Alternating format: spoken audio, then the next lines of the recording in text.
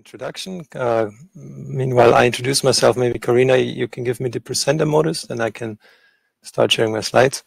Um, so yeah, my name is Gabriel Rojas. I'm uh, been uh, at the DISC now for a little bit over a year. When I joined the University of Innsbruck again, so I work at the DISC and at the Unit for Energy Efficient Buildings. And um, before that, I was um, at the um, University for Applied Science in Salzburg as a senior lecturer and researcher. And before that, I actually was uh, working for several years at the Unit for Energy Efficient Buildings. So I'm 50% uh, homecoming. Uh, um, my research focus uh, was and is energy efficient efficiency of buildings. Um, and in particular, um, as Justus said, um, indoor environmental quality, um, indoor air quality, thermal comfort, uh, and how to combine uh, those two aspects, energy efficiency and indoor air quality. Um, yeah, my methods have been, um, or this, there was always a strong focus on numerical methods. Um, and uh, so building simulation. And um, today I want to talk about uh, fault detection um, in buildings using data-driven models. So I want to share, I'll share my screen. Right one. Can you see it? Yes. Excellent. so um, recently or in the last years, I've been uh, moving more to um, uh, using um, data-driven models, uh, basically to um, try to use, make use of the readily available or more and more available uh, data that's out there um, to evaluate buildings or to use it for certain applications like the fault detection. Um, the fault detection itself, I'm this talk, I won't be able to, or I won't present you uh, results of a finished project. This is work in progress. Um, and um, I'm giving, I'll give you some sort of a basic and overview how this fault detection works, what are the methods and uh, what we're working on right now. And uh, hopefully in, uh, in some months, a year to ahead, I can give you um, results uh, where we tested those methods uh, in actual buildings. So as a motivation, as you know, I work at the Unit for Energy Efficient Buildings. Um, I want to shortly give a motivation why I think this is important. Um, what you see here is basically the energy consumptions in buildings. And if you look um, at the um, European Union. I'll turn on my laser pointer. Um, right here, that's the, the number we often hear, 40% of the final energy use is consumed in buildings. So buildings do have a big share on the energy consumptions and uh, therefore also for the greenhouse gas emissions. Um, so um, there is a big potential there for um, reducing energy uh, uh, use. Um, that's also now with the recent developments in the Ukraine, I think a very important topic um, to get off of fossil fuels. And that's um, there we need to increase energy efficiency and uh, make use of uh, renewables energies as good as possible. What you see here is um, um, some numbers how that describe how energy efficient the buildings in uh, in Europe are. Uh, right now, the, the, building stock, I mean, this is uh, numbers from 2015, so not, um, but not that much has changed. It's uh, it's becoming better, but you see um, here, uh, this is a metric that describes the energy efficiency per square meter, so you can compare different buildings. So uh, where the building stock is usually at, at, at 200 kilowatt hours per square meter of uh, floor area. Um, and that's for space heating, as you see, but also for the other things, electricity use and, and things like that. But you already see space heating here is a big uh, portion. Also uh, in Austria, about two thirds of the final energy used uh, in buildings is uh, goes for space heating. So making them uh, more energy efficient in terms of, you know, better envelope, uh, having um, um, better insulation, better windows, um, increasing the uh, efficiency of the envelope um, has a big impact on the general, uh, on the overall energy use of buildings. And of course, uh, increasing the efficiency of building services like uh, for heating, for ventilation, uh, for air conditioning, um, those things.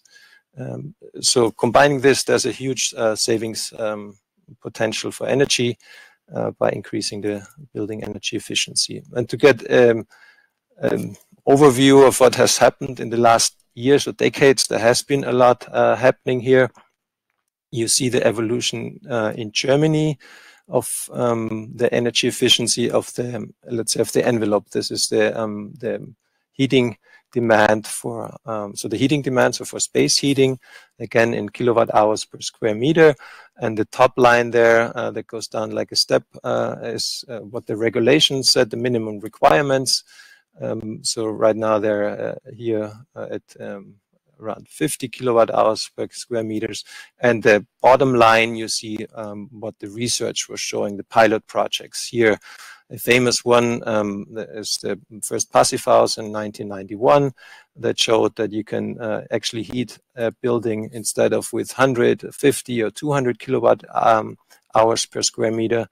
Uh, you can heat it actually with only uh, 10 to 15 uh, kilowatt hours. Uh, and and the building practice is somewhere in between. And uh, and of course, um, maybe some of you know, or maybe some of you don't know. There's this um, the European Union has done its thing for this to to bring um, to drive this down with this uh, European Building Performance Directive. Uh, that um, it's a directive, so it applies uh, the member states to um, set actions to drive this energy efficiency up or the energy demand down. Um, but um, as you might have uh, heard in the media or talking with others, I have experienced that with my neighbors when it's about uh, discussing and deciding what to do with your building uh, there's this thing out there, um, energy, does energy efficiency measures even work? Um, you know, some say, oh, that you put insulation on, that doesn't help. And there's um, a lot out there on uh, in the media that says, you know, um, it doesn't, uh, there's this performance gap. That's this uh, keyword that's often said. And uh, to that, I have this slide just saying, I uh, just want to say, yes, this performance gap does exist in certain cases, and uh, of course there has been uh, issues um, or there has been uh, projects where the predicted energy use um, was not met by the real or the real superseded it.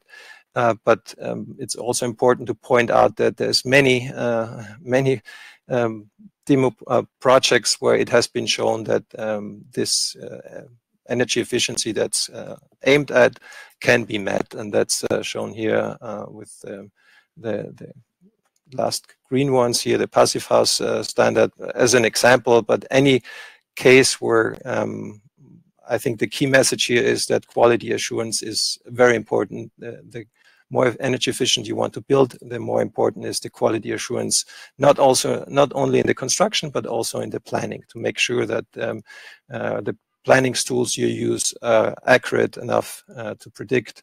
The models you use are accurate enough to predict um, what you actually build. And then of course quality assurance during the construction and quality assurance also during the operation. And that's a little bit where I'm heading today. Um, quality assurance during the operation to make sure that building operates as as uh, designed. Um, an important point here is to make is also the huge spread that um, even if we predict something uh, with uh, certain tools, the user behavior and to some extent also the climate condition, the weather will have a big impact on the actual energy use. And that's uh, so if you have uh, somebody telling you, yeah, my house doesn't um, meet what it promised uh, to meet in terms of energy efficiency, then you can you must say that yeah, you one one has to look at it's one case. Um, it depends very much on the user behavior. If you have your heating at uh, 23 degree or at 18 degrees is a huge difference, or even just uh, one degree of difference is already a big difference. And um, you see at the end, you have a normal distribution um, in the building stocks that use a lot of energy and uh, also in the uh, highly energy efficient buildings like shown here. So here each bar is one dwelling of uh, similar constructed buildings in this group. Um, so on average, um, they meet um, what was predicted, but of course on an individual basis, there's a, a big difference. So this is not, uh, just to point out that this is not the performance gap. A performance gap would be if the, the average uh, would deviate. So, um, but yes, uh, there, there have been, um, I'll just uh, put in some project reports or publications that uh, we know that from our experience that uh, in many pilot projects uh, we've seen that as you monitor the building behavior over the um, over the first year or so you see you might detect deviations from the expected behavior and sometimes um, you can, or many times you can, um, if you detect such a uh, deviation, um, you can um, find the root cause in something not working as intended. And uh, sometimes it's uh, some actual uh, component that's faulty. Sometimes it's uh, another um, thing not working as as intended. So it's an, an anomalous, an, an non anomalous state, so it's in a faulty state, and that's um, that's something we want to detect, and that's uh, where um, what I want to present the work here uh, today here. Um, this is just a schematic to make the point that uh, part of this is of is that the building services, um, the building itself, the planning has become more complex as you try to make it more energy efficiency, more energy efficient. Uh, you have to think about more things, more uh, um, aspects during the design process. And of course, the building services themselves, so the heating, the cooling, the ventilation uh, is becoming more complex. Uh, there's um, the integration of renewable energies like solar thermal collectors or PV that you integrate in the in the building, and um, for the building to work and um, bring out the best, uh, basically, it, those systems need to work uh, together. So um, there's reports, or we, or we know of buildings that uh, heat and cool at the same time. That's something that uh, shouldn't be happening, but it's happening uh, because because things are not working as ideal together as as they should. Um, so this is just some pictures from the technical rooms to illustrate that um, complexity is increasing. So what are typical faults and uh, what are the faults we're trying to um, detect here?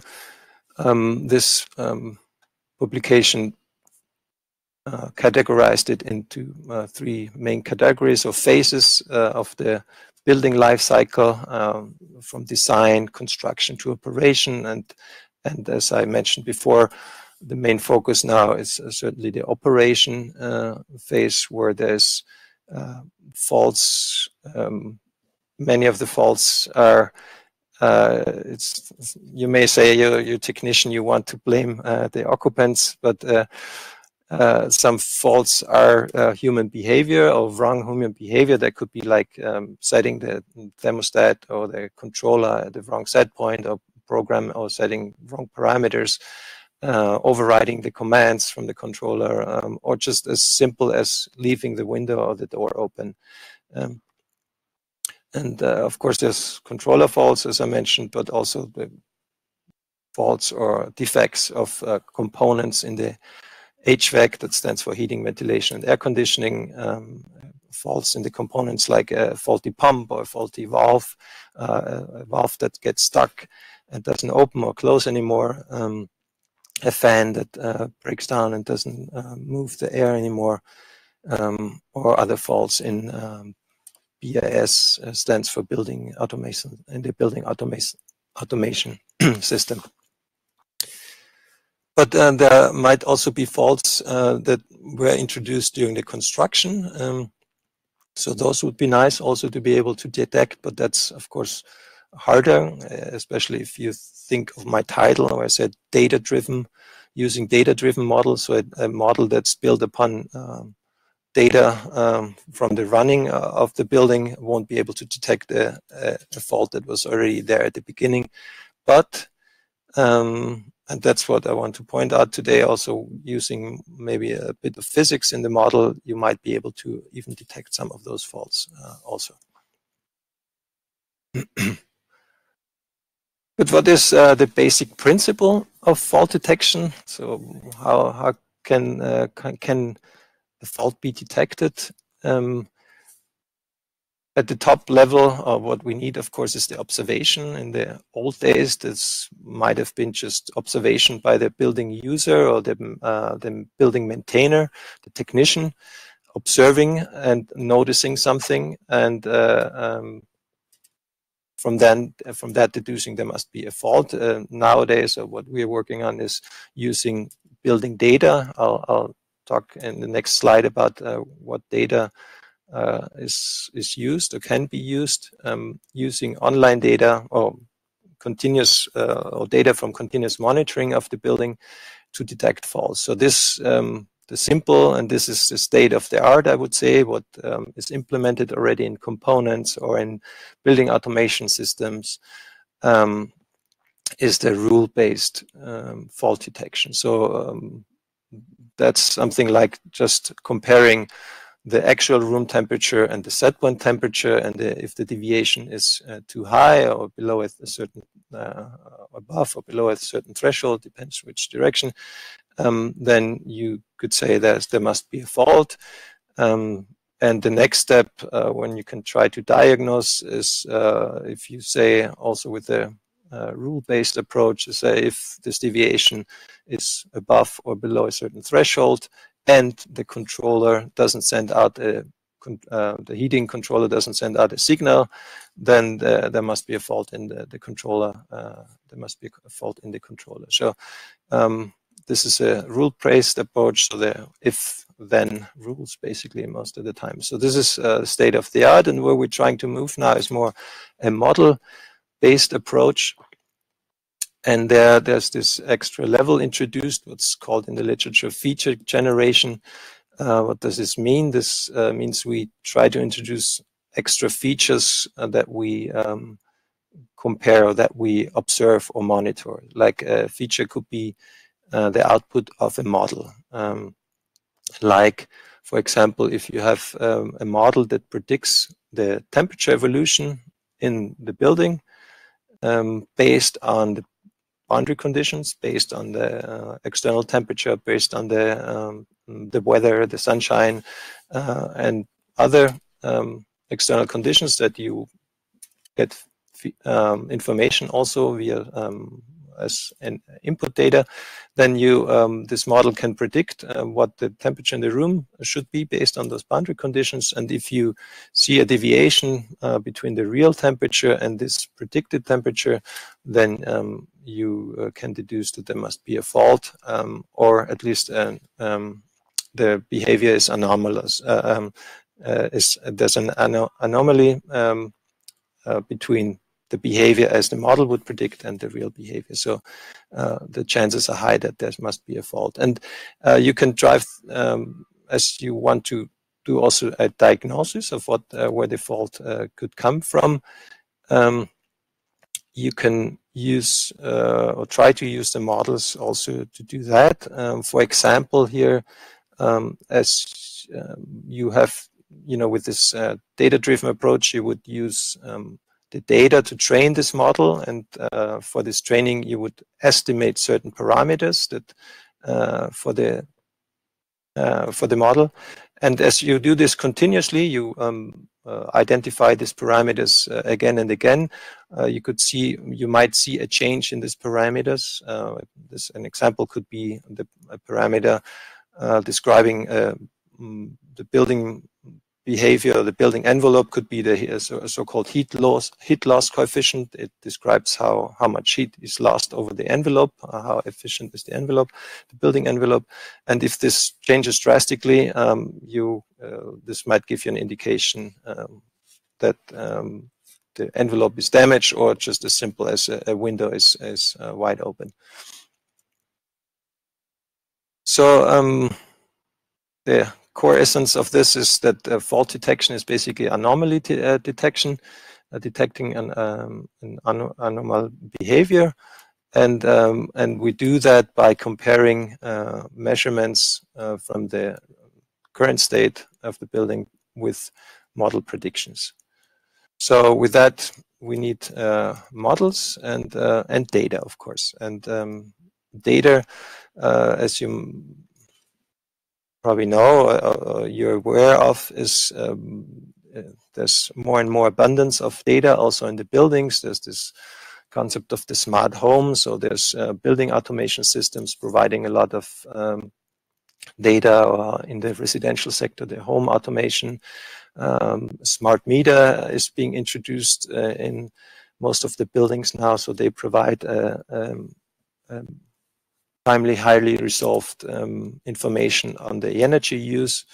Uh, not all, not only on the electricity side, but also for the gas. Uh, for example, um, there's smart meters um, there's um, data, uh, data repositories out there. For example, if you need uh, information on the uh, solar radiation, that's an important factor for building models or things like that. So there's an abundance of data that um, um one can use to um, train and uh, build data-driven building models. Um, so to be a bit more specific, I'll, I want to show you examples of um, how such models uh, could look like. The first example is uh, for a component like an air handling unit, in this case uh, handling unit used to cool the air, so an air conditioning system or the air handling unit of an air conditioning system. On the left, you would have here the outdoor air uh, coming in. Uh, it goes over a damper filter. There you would have uh, the cooling coil, um, so that actually cools the air and the fan, and that's supplied into the rooms. And then there's some return air that partly goes out and partly is recirculated. And um, we would describe the physical uh, energy balance, basically the physical model describing the mass and or energy balance uh, simply with this uh, uh equation here. Uh, that's basically the heat uh, coming in, outdoor air, the heat from the recirculated air, plus the heat put in or taken out by this cooling coil must be is the balance must be what uh, goes out here by the supply air. So this is just rewritten and then just to show you how then a data-driven model um, based on this uh, physical representation uh, could look like. Um, you have this um, same here, except that for some param parameters that uh, we don't know, we don't measure uh, directly, like the mass flow of the air, is not measured directly, but uh, there's pressure sensors, and from physics we know that the mass flow is proportional uh, to the square root of the pressure difference. So you could introduce that as a uh, as a parameter describing the mass flow, or we know that the heat uh, put in or taken out by the cooling coil uh, is can be described by the by a power law, uh, where the SCC stands for the valve um, valve angle, if you want, like that, or the valve the valve position. Uh, and then so you would have um, the other parameters that depend on the on the temperature difference, and uh, so you would have a number of parameters, and uh, so you can train the data. Uh, if you have uh, sufficient data and you estimate those parameters, and with once you have estimated those parameters, you can predict um, future states, basically. You can predict into the future. Here's an example also how they um, use the dummy, what I call a dummy variable, a binary va variable to introduce also the, the schedule if um, the building is in use or not in use, because that might depend then uh, uh, if then the recirculation is active or not. Um, yeah, I think I leave it with that. Uh, that was an example for the um, for building component. Um, I'll give a short introduction how a model for the building itself uh, looks like. So there, it's again the same approach. We do an energy balance. Um, what goes into a room or a building, we most we often call that a zone because sometimes a zone can be an uh, two or three rooms put together, or the whole house uh, looked as uh, one zone, or you look uh, at one room at each um, you room you look at a room by room basis. Uh, so we make an energy balance. So there's transmission losses going out through the walls. There's ventilation uh, and infiltration losses. So that's uh, the air exchange through the cracks, basically, to, um, of the envelope. Then there's solar gains, uh, internal heat gains, and then the heating or cooling. And that's basically uh, it. That's uh, and if you have that in balance, then you would have a stationary case. The temperature would stay the same, and um, and that that is uh, this model is uh, often sufficient for um, energy calculations, like energy, like what you would have in the energy certificate, is a calculation uh, on a, a stationary based calculation on monthly based. You do this monthly by monthly, and then you get an estimate. What and that's what the energy certificate would give you. But if you want models that depict also the dynamics, uh, so the uh, um, evolution of the temperature or the, um, the timely evolution of the heat input that's needed, then you need an in, in, stationary model and then you say what whatever the balance is of the heat that goes in and out must be uh, uh, the part that uh, increases or decreases the temperature. So that's uh, what you see here, the uh, time derivative of the temperature multiplied by C, that's uh, the heat capacity of, of the room, of the building, basically. So that's a, a simplified model for the room. Um, and um, in building modeling, we have this uh, taking this approach to make the an, an analogy to uh, electrical networks because that works. And there's a direct um, the, an analogy between the two. Uh, the mathematical equations basically look the same. You can describe the heat flow um, is the same as the electrical, uh, the electric, uh, so the heat uh, flow, the heat current uh, is the same as the electrical current, and the uh, the potential or the voltage is the same as the temperature difference. It's the driving force basically for the heat flow. So um, we like to use those um, illustrations or pictures uh, to represent our models and represent our differential equation describing um, the behavior of our building. So here you'd have the um, heat flow from the heater uh, coming into the room or into the building, uh, the heat coming in from through your window, uh, solar gains, uh, and um, and the uh, heat coming in or going out through the envelope, um, and that would be uh, the the energy balance here must be the change in temperature, as said before. Um, if you want to go in more detail uh, or make a very detailed physical model, you, you need to go deeper, let's say, or be more detailed. Uh, this is just an example uh, for a wall where the heat flow through the wall, you would have to uh, make it, um, it's usually discretized in different layers, and then you can try to um, model also the temperature um, distribution within uh, the that component. Or you can uh, you derive also more exactly the heat flow through it. Uh, it basically describes the heat equation, which um, is the equation that describes the heat conduction in, in solid material. Um, so if you combine those, um, you would have a detailed physical model. Uh, so you would combine that for each wall. Uh, you'd have combine other models uh, for the for the window, describing how window behaves. Uh, you'd have models for the different components and so on.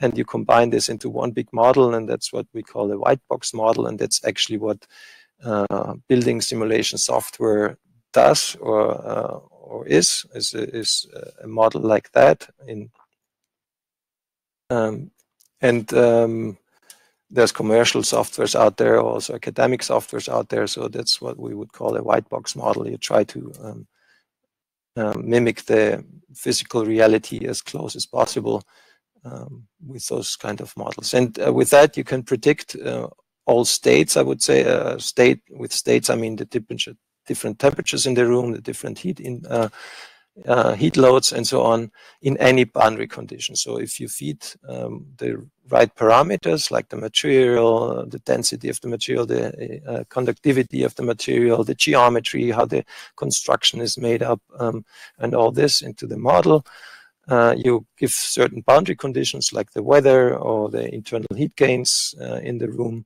Uh, with that, you can predict any state, and uh, if the physics are put you know are right, then um, it doesn't matter what the boundary conditions is. Uh, you can predict um, uh, the behavior of the building correctly, and that's what's used in the design stage of optimizing a building, basically.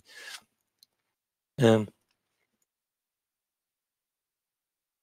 but uh, as you may think, it's a lot of it's complex model. You have to enter a lot of parameters, and in fact, there's uh, um, shown that due to that co complexity, it's often you the model itself would work good, is accurate, but uh, due to the complexity, somewhere the users enters something wrong, and and at the end, the overall um, accuracy is sometimes not as high as one would uh, think.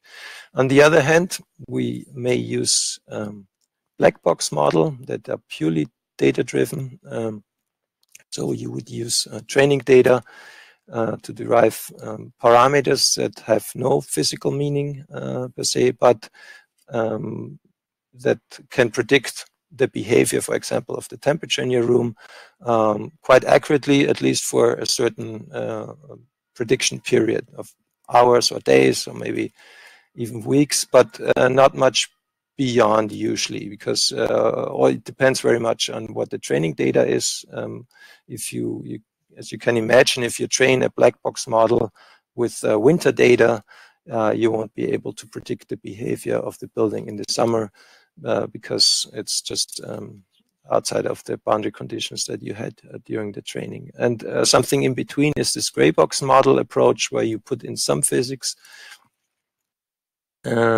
physical knowledge, um, and also training data. So you estimate some parameters. The parameters have usually some sort of physical interpretation, uh, like the heat capacity. You can interpret it as the heat capacity of the interior of the walls and so on, but you won't find actually the the the you, the, the right physical um, equivalent. Uh, so what heat capacity you put in of the first centimeters of the wall or the whole entire wall or things like that. So those have a physical interpretation, but you need data to uh, estimate them because they don't have a direct physical interpret um, uh, equivalent.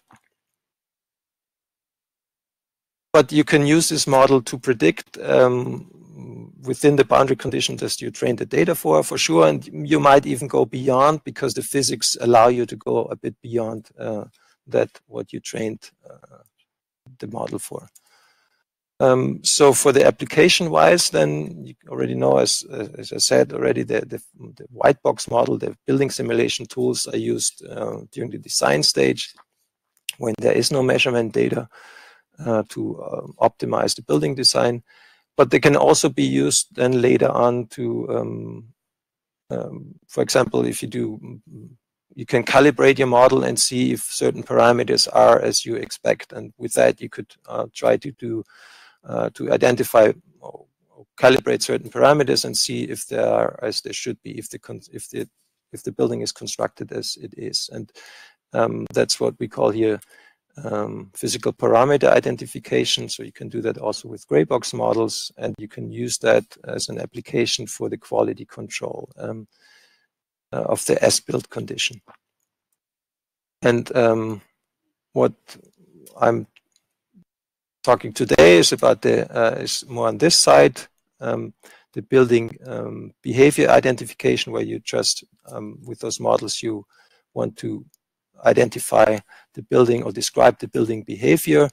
And uh, applications for that are like uh, building model predictive control. So that's uh, controllers that uh, use a model to predict how the next hours or days will be. And depending on that, they will turn on the heating or uh, turn it off or, or use PV for heating uh, and load your buffer or something like that. That's model predictive control. And the other application is uh, fault detection. So with that, um, you have a, uh, a, a, prediction and you compare it to the real state. And if there's a, deviation, you can use it. Um, so I want to shortly um, show you um, or tell you about those uh, projects that have been going on and where we were involved. This is an international collaborative project um, annex uh, from the International International Energy Agency, and there the focus was actually um, developing and testing such models for those two um,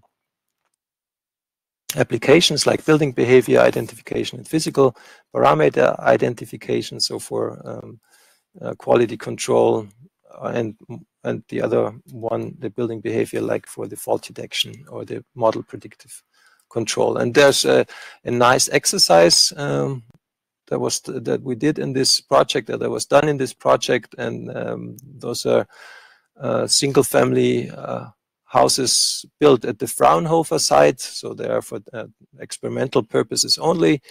And those houses were um, heated or used uh, or experimented with in a certain period, a couple of months, uh, different phases where the heating was more on or then so certain user behavior was mimicked.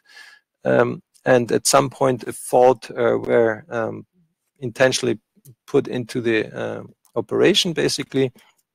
And then uh, the measured data was given to the participants in these projects uh, without telling them what fault and what time the fault was put in and uh, and the different uh, teams could then try to find the faults basically and they put in those three faults like a floor heating mimicking a, a, stuck valve in the floor heating on then also a failure in the ventilation partial and full and and this um, was given, uh, this data was given to the uh, modelers, uh, telling them this is the training period where no fault is, and this is the period where some faults might have been. And here, as an example, uh, to see how that works, you have this gray box uh, uh, or the result from a gray box model. The, here up here is compared the measured temperature in the room and the predicted, the model, the predicted temperature evolution. Uh, and you clearly see here, here starts a deviation. You see that um, even nicer if you plot the residual, so the difference between the model and the measured, and you uh, clearly see that here, or you can um, then analyze this data of these residuals uh, to detect that there must have been a fault here. And um, that was done, and they, uh, they, this team also did uh, went the next step and tried to uh, uh, diagnose uh, or say where the cause could be. And that's um, they did it like I mentioned before. They um, did on a daily basis. They estimated the parameters or one of the parameters in them gray box models on a daily basis, and uh, those are the black dots here. And you see there um, it gives this heat transfer coefficient. It's a certain metric for the envelope. And um, it stays up there until a certain point where you um, see that um, it goes down um, by a certain amount. And from there you can uh, deduce that something must have happened to the um, either to the building envelope or the heat uh, sources have changed. So there um, they deduce that the uh, the envelope, which includes the ventilation strategy, there's something to the ventilation strategy must have changed, so they um, derived that correctly. And here they said this change in heat transfer coefficient is too big. Uh, it couldn't be the, uh, the envelope itself. There must be an undetected heat source. So with that, they were not fully on, but uh, close, um, uh, close to the cause. They were um, detecting the right um, direction, let's say but uh, certainly there's more research uh, needed to to um, help or to uh, develop methods for diagnosing and finding the causes. And this is an overview. There was in total five teams participated. Um, two of them used the gray, gray box uh, approach. Uh, three of them uh, a black box approach, random forest. ARX stands for um, autoregressive model with exact exogenous uh, inputs and uh, ARIMA models uh, also autoregressive. Um, there are black box models, and as you can see oh, I, I showed this here with the stars, uh, how many detected uh, uh, fault A. Only one of the teams detected fault A. This is uh, had a certain. Oh, from that we learned uh, we learned something. The reason why they only detected that is they um, the others uh, used the heat input as an or the heat input as an input into the model, and that way um, um, this fault, which shows in the uh, heat input was not detected is part of the the, in, the fault is part as an input basically. But the other faults were detected. The fault b was detected uh, by most of the participants of the models uh, four out of five and the uh, fault c by three. So um, shows that uh, things are detected it can be detected but certainly more work is needed to um, um, to make this more uh, robust in detecting things. So that's um, what um, I'm working on, um, and this is a project that's ongoing. Uh, we're part of this, uh, also other partners, um, Forschung Burgenland and TU Wien and um, uh, the Fachhochschule Salzburg.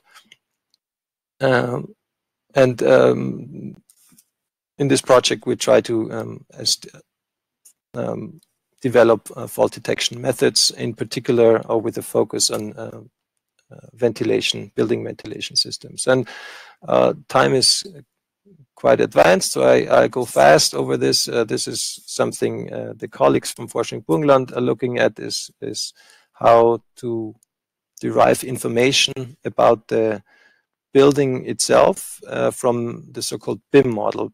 BIM stands for Building Information Modeling. So this is a big model uh, that's used by architects and planners that should describe the building, the geometry, what's used, um, and so on in very detail. And it also describes or it also should include information about the um, uh, network, like in this case, the ventilation, the ducting network, and um, they uh, use um, some algorithms to uh, extract um, the network uh, out of this BIM model to create um, uh, a representation where you can derive then how the network is uh, connected to each other so you can know how the flows go, uh, the airflow goes and uh, which um, rooms or which part of the ducting network is affected um, if something changes upstream basically.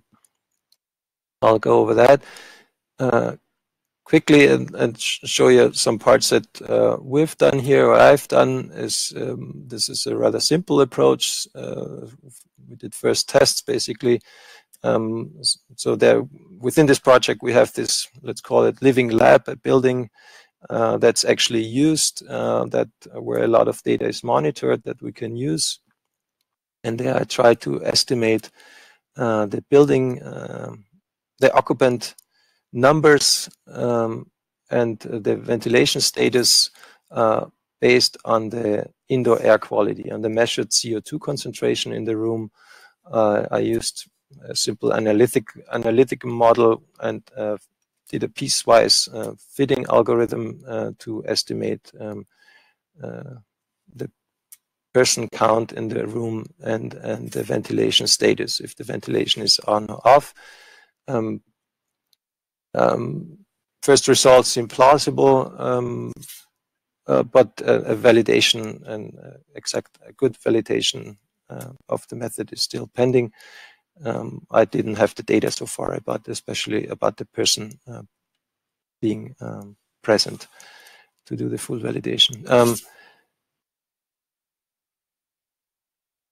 the next step, and that's where I'm working on, I was hoping to be able to present you some results already but um, unfortunately, um, I was um, um, put set back in time. Let's say it that way. Uh, so we're still working on that. Um, is to use gray box models, combining a gray box model for the thermal representation, as you see it here.